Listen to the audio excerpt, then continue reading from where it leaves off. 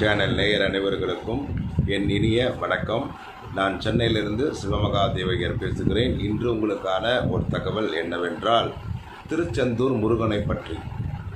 இப்போது திருச்செந்தூர் முருகன் அப்படின்றது வந்து இந்த உலகத்திலே வந்து பார்த்திங்கன்னா ஒரு சிறப்பம்சம் கொண்ட ஒரு முருகன் அப்படின்றத வந்து சொல்லலாம்.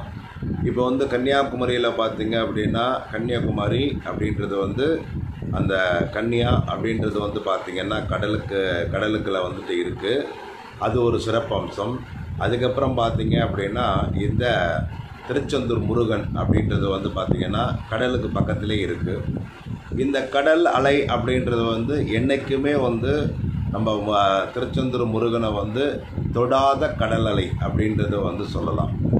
இப்போ இந்த திருச்செந்தூர் முருகனால் நமக்கு என்ன பெருமை? நமக்கு என்ன வந்துட்டனாக்கா வாழ்க்கையில் வந்து கிடைக்கும் அப்படின்றது தான் ஒரு முக்கியமான ஒரு விஷயம்.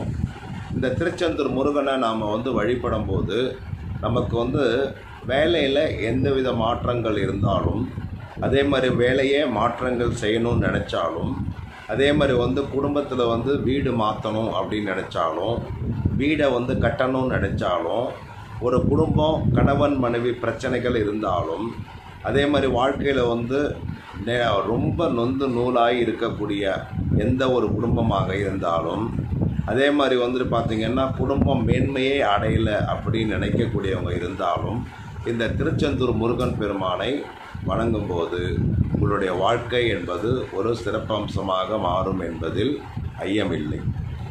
இப்போது இந்த திருச்செந்தூர் முருகனை நாம் வந்து எப்படி வணங்கணும் அப்படின்றத வந்து பார்த்தீங்க அப்படின்னா இது வந்து முழுக்க நாம் வந்து புதன்கிழமை நைட்டு அங்கே போயிடணும். அதே மாதிரி வியாழக்கிழமை அங்கே இருக்கணும் அப்படின்றத மனசு வச்சு போகிறத விட புதன்கிழமை வந்துட்டு காலம்பறையே அங்கே வந்து திருச்செந்தூர் முருகன் கோவிலில் இருக்கணும்.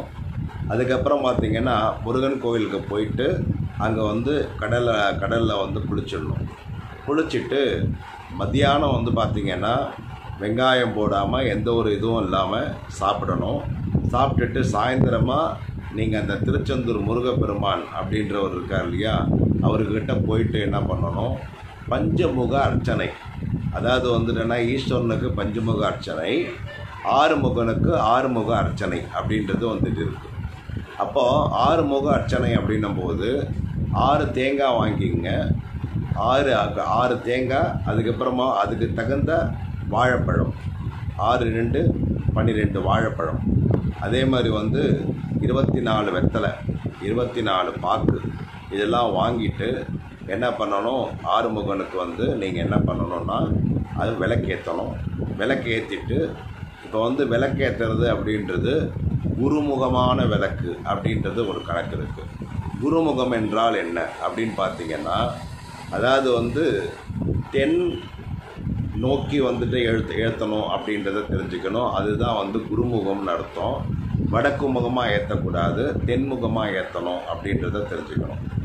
இப்போ தென்முகமாக வந்துட்டு எத்தனை விளக்கு ஏற்றணும் அப்படின்னா குறைஞ்சபட்சம் இருபத்தி ஒரு விளக்கு வந்து கம்பல்சரி ஏற்றணும் ஏற்றிட்டு அந்த ஆறு தேங்காய் எல்லாமே வந்து பார்த்திங்கன்னா ஆறுமுகனுக்கு வந்து தேங்காய் பழத்தோட அர்ச்சனை பண்ணணும். அர்ச்சனை பண்ணிவிட்டு அங்கே இருக்கிற குருக்கள் ஆறு பேருக்கு அந்த ஆறு தேங்காயும் தேங்காய் பழம் வெத்தலை பார்க்க வச்சு அவங்களுக்கு வந்து தட்சணை உங்களால் முடிஞ்சதை கொடுத்துட்டு அதுக்கப்புறமா வந்து வெளியில் வரணும். நீங்கள் எந்த தேங்காய் பழத்தையுமே எடுத்துக்கக்கூடாது அப்படின்றத வந்து தெரிஞ்சுக்கணும். எப்போ முத நாள் புதன்கிழமை நீங்கள் செய்ய வேண்டியது இது.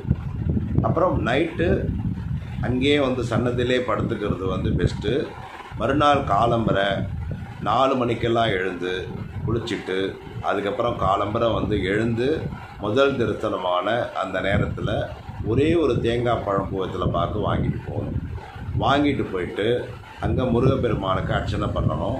அர்ச்சனை பண்ணிவிட்டு அஞ்சு தீபம் வந்துட்டனாக்கா போடணும். அஞ்சு தீபம் போட்டுட்டு முருகப்பெருமாக்கிட்ட நீங்கள் எதற்காக போனீங்களோ அதை வந்து வேண்டி என்ன பண்ணணும்? அதை வேண்டிக்கணும். வேண்டிட்டு அதுக்கப்புறம் வந்து பார்த்தீங்கன்னா பன்னிரெண்டு வெத்தலையில் திருச்செந்தூர் ஸ்ரீ சுப்பிரமணியேஸ்வரர் சுவாகா அப்படின்னு சொல்லிட்டு வந்துட்டுனா எழுதணும். எழுதிட்டு அந்த வெத்தலையை அந்த கடலில் வந்துட்டுனாக்கா போடணும். அது போடும்போது வந்து என்னென்னா முன்பகுதியில் வந்து திருச்செந்தூர் ஸ்ரீ சுப்பிரமணி அப்படின்றத வந்துட்டுனாக்கா எழுதணும் எழுதினோம் எழுதிட்டு இது அதுக்கு பின்னாடி உங்களுடைய பிரச்சனை என்ன அப்படின்றத வந்துட்டு எழுதுங்க. பேனாவில் எழுதுங்க.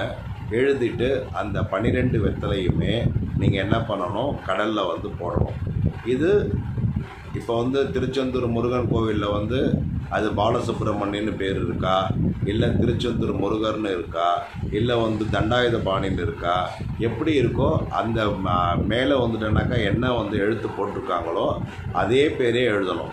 அது வந்து ஸ்வாகான்னு போடணும் லாஸ்ட்டில் ஓகேங்களா? இல்லைன்னா திருச்செந்தூர் ஸ்ரீ சுப்பிரமணிய சுவாமி சுவாகா அப்படின்னு வந்து எழுதி பிரச்சனையை உங்களோட பின் பிரச்சனையை பின்னாடி எழுதிட்டு அந்த கடலில் ஆறு பன்னெண்டு வெத்தலையும் போட்டுட்டு அதுக்கப்புறம் வந்து பன்னெண்டு பேருக்கு அன்னதானம் உங்களால் முடிஞ்சது.